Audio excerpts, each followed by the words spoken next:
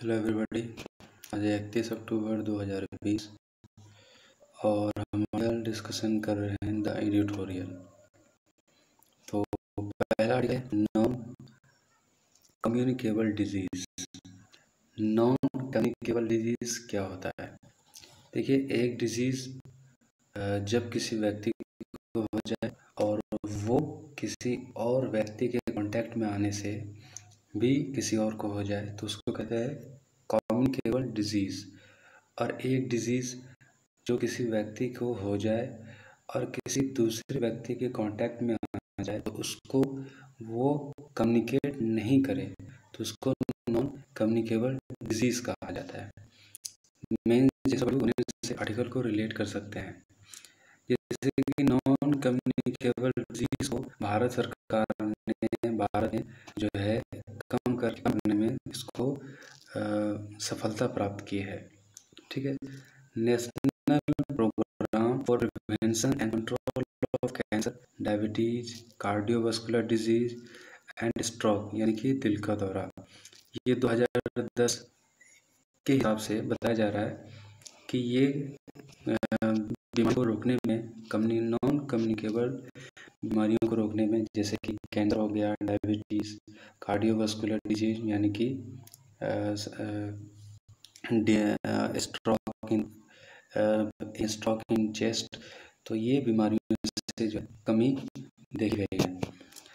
तो गवर्नमेंट ने दो एक प्रोग्राम किया two ninety eight N C D यानी कि ये था नॉन कम्युनिकेबल डिज़ीज़ तो इसके अंदर सरकार जो है प्रोवाइड करती थी सर्विस डायग्नोसिस करके, उसका ट्रीटमेंट जो है की जाती थी नॉन लिवर डिज़ीज़ को सरकार ने काफ़ी इफेक्टिवली इसके ऊपर काम किया। तो अब देखिए क्या है कि stroke of the major reason of were in India हमारे देश में ख़ासतौर से दिल का दौरा लोग ज़्यादा उठता है, ठीक है? तो हार्ट स्ट्रोक की टेंडेंसी ज़्यादा थी। सात लाख लोग 2016 में दिल के दौरे की वजह से मर गए। तो स्ट्रॉन्गली देखा जाए तो 1.4 टाइम्स हमारे देश में ज़्यादा है, जबकि ट्यूबरकुलोसिस से बाईस टाइम्स है, जबकि मलेरिया से ट्यूबरकुलोसिस से मरने की चांसेस बाईस टाइम्स ज़्यादा है। अकॉर्डिंग टू 1.4 टाइम्स ठीक है? यानी कि जितने लोग ट्यूबरकुलोसिस से और मलेरिया से नहीं मरते हमारे देश में, उतने ही उसके बाईस गुना ज़्यादा चांस है कि स्ट्रोक से मर जाते हैं। और ये ख़ास तौर से ऐसे लोगों में होता है जो युवा अवस्था से थोड़ा ऊपर होते हैं, ठीक है? तो ऐसे के अंदर स्ट्रोक होता है। तो ग्लोबल बर्ड डिज़ीज़ स्टडी यानी कि इसके एक एक इंस्टीट्यूशन है जो स्टडी पब्लिश करता है तो global burden of disease study दो हज़ार उन्नीस की दुनिया में सेकेंड सबसे कॉमन बात है किसी व्यक्ति की डिसेबिलिटीज़ यानी कि कोई ऐसी चीज़ें, बावन से चौवन, बावन से चौहत्तर ईयर एव the seventy five year age group इस उम्र में लोगों को ऐसे हार्ट स्ट्रोक ज़्यादा आते हैं। तो lower burden of disease study ये भी बताता है कि अगर स्ट्रोक आते हैं तो उसके लिए गोल्डन टाइम होता है। गोल्डन टाइम होता है साढ़े चार घंटा, चार से पाँच घंटा। अगर चार से पाँच घंटा के अंदर पेशेंट को सही ट्रीटमेंट कर दिया जाए तो वो बच सकता है। लेकिन अमूमन क्या होता है ना कि लेट हो जाती है। छः घंटा जाता है या उससे ज़्यादा जाता है। पेशेंट टाइम पर नहीं पहुँच पाता है और चांसेस मौत की ही ज़्यादा रहती है। ठीक है? और दूसरी बात यह कि देश में तकरीबन दस हज़ार लिए केवल एक डॉक्टर है, ठीक है? छः लाख डॉक्टर की कमी हमारे देश में, ये हार्ट स्ट्रोक ट्रीट करने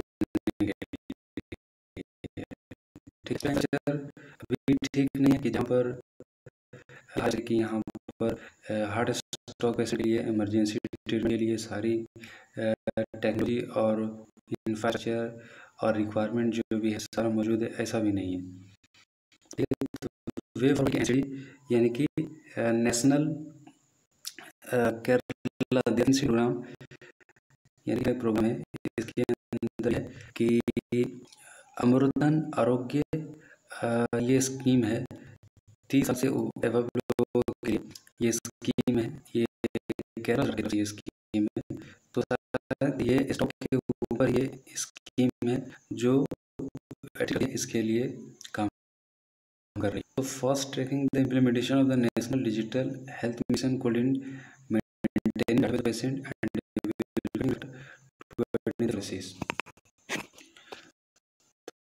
देखिए जो एनएसडी जो सरकार स्टॉक को आ, के ऊपर जो है इंफ्रास्ट्रक्चर करने की कोशिश है।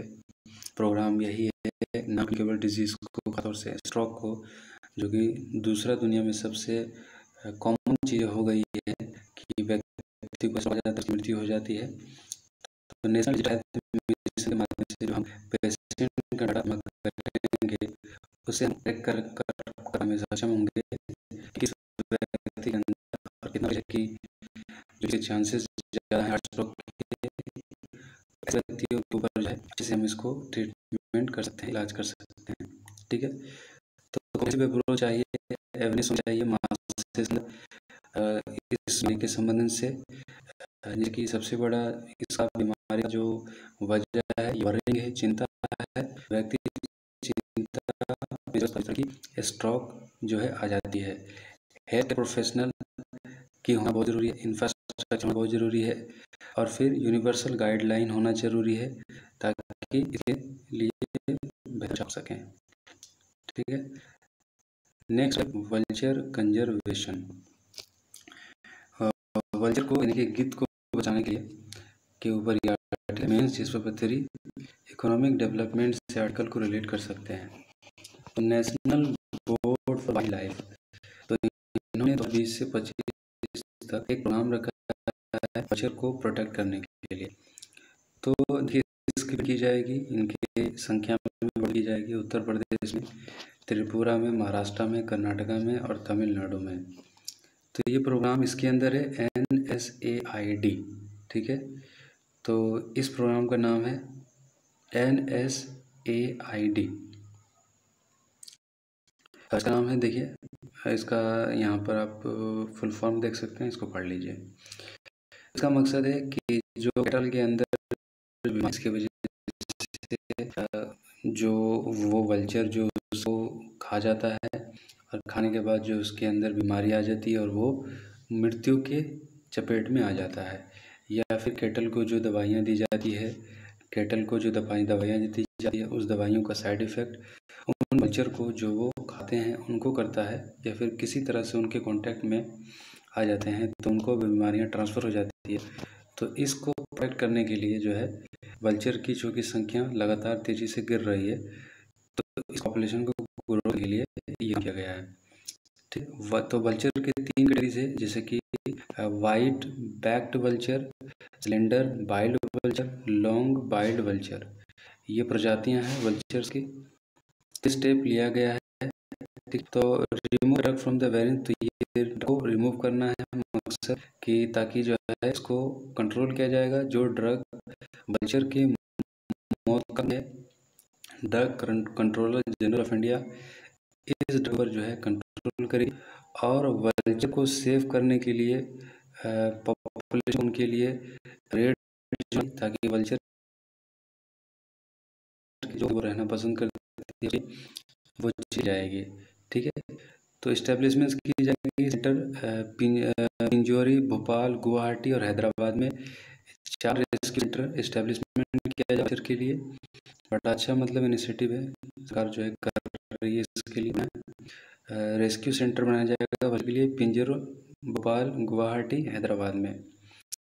कल्चर को जो है बॉम्बे नेचुरल हिस्ट्री सोसाइटी और research institute and the other civil society organisation estimate the accurate size of culture population तो और भी कई सारे जो है जो सिविल सोसाइटी है ऑर्गेनाइजेशन है एनजीओ है तो और जो है जैसे जा रहा है बॉम्बे नेचुरल हिस्ट्री सोसाइटी तो ऐसे लोगों का भी कॉपरेशन चाहिए होगा, ताकि बेहतर तरीके से इसको इम्प्लीमेंट किया जा सके।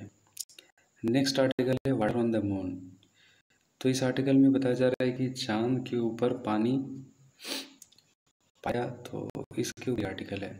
तो रिसेंट रिसर्च से पता चला की सतह पर आ, कुछ ऐसे पानी के आसार पाए गए हैं जहाँ पर ये एक बहुत बड़ा कह सकते हैं कि रास्ता दिखा रहा है सामने कि चाँद के ऊपर इस्टेब्लिशमेंट किया जा सकता है ठीक है? तो नासा का ये प्लान है 2024 तक एक महिला को, एक व्यक्ति को वहाँ भेजना और ये moon establishment sustainable human presence करने का नासा मिशन है।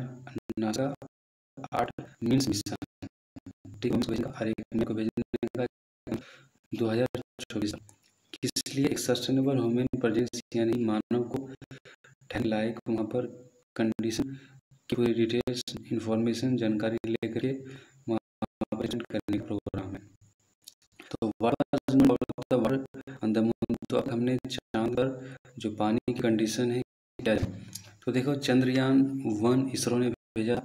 तो ये तो वाटर के बारे में जो है कुछ एविडेंस प्रूफ किए थे। इन्होंने बताया हाँ वाटर मून के ऊपर है। इसरो ने ये जो दिया था तो इस से जो है water presence H two O में हो सकता है।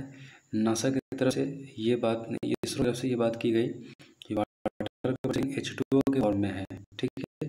तो रिसर्च यहाँ सब हेमिस्फेयर के ऊपर जो है एच मोलिकुल जो है तो तो खोजने का मकसद और आखिर ये जो है इसके साक्ष्य मिल गए। कि उनके ऊपर है एच टू फॉर्म में भी है चाँद के अंदर भी है और कुछ से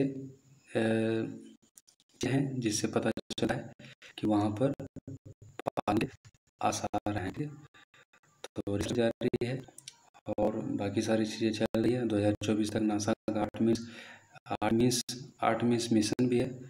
तो देखते हैं फ्यूचर में क्या डेवलपमेंट होता है। Okay, thank you.